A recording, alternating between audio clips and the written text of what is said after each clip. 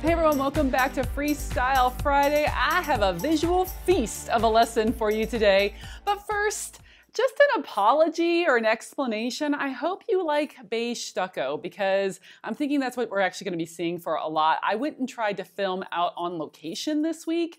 Um, I went to the steps of the Capitol building, which to me, it's like a wedding cake in a government building had a baby. It is so beautiful. And then I went and filmed by the river, and in both places, it was terrible mainly because of audio. I don't, I'm not a video person, but I sounded terrible and there was so much wind and traffic and noise that you could barely hear what I was saying. So, you know what? It is hard to make three videos a week. So I think I'm just to do it here at my house with the stucco on the patio because that is so much easier than schlepping all over town. And I definitely want to keep going. I don't want any barriers for me to keep bringing you high school lessons. All right, so let's get into this week. I hope you guys had a great week and you're primed for a great weekend.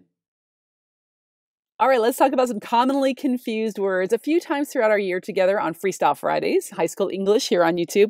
I'm going to show you some word pairings that kids often mess up that I see in their writing, just drawing your attention to these so that you don't make similar mistakes. Now, I'm going to let you decide what makes sense for learning these words. Some of the pairs are what we call homophones. They sound alike but are spelled differently and mean different things. But some of them are just really, really close. They're not like actual official homophones, but they're close enough that I think that they're worthy of a few minutes of our time. All right.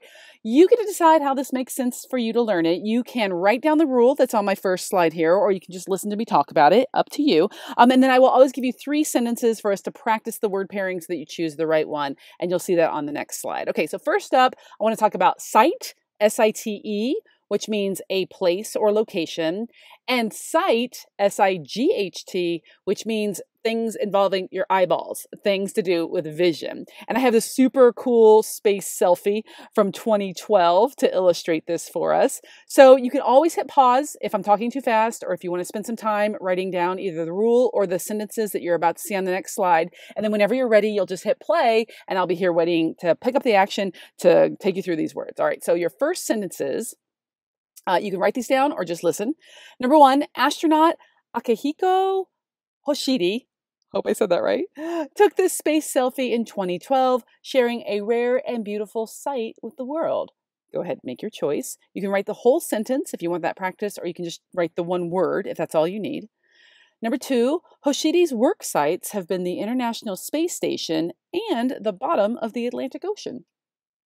Make your choice. And then sentence number three to train for space, astronauts usually spend at least a week undersea wit- witnessing sights few of us will ever know. In researching the background for this slide, that's actually true. Uh, space agencies have like pods on the floor of the ocean where astronauts go so they can simulate that kind of otherworldly and somewhat claustrophobic, keeping it real, feeling that they would have in space just to see if they mentally have like got it. All right, if you're ready for the answers, I'm about to advance. So now you're going to check yourself.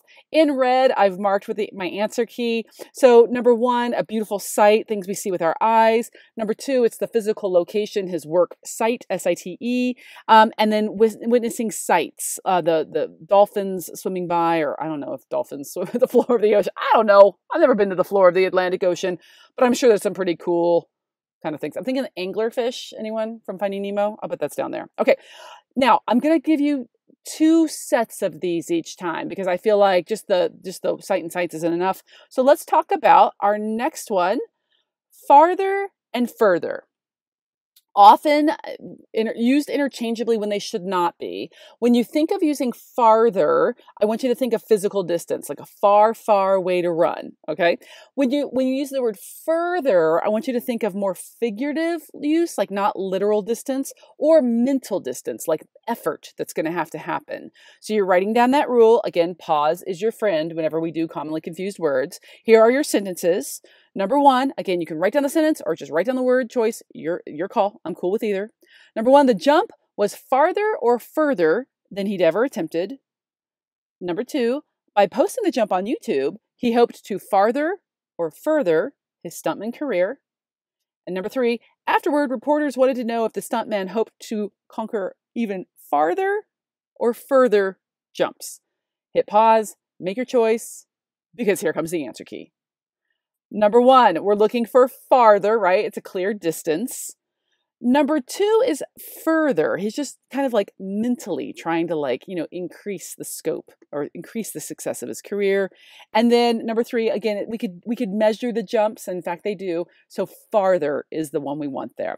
All right, I hope this was helpful and that you're now using farther and further correctly in your writing moving forward. Uh, I think it would be cool just like we do with some of the work, if you left some sentences below in the comment section, right? How about you write me a sentence using site, one using sight, S I G H T, uh, and then give me one using farther and one using further. Hey, that would be rad. Uh, hit a like on the video, subscribe to the channel. Tell me how you're doing. What's going on? It's Friday. Hallelujah. Oh my gosh, I am so tired, but I'm to keep on going.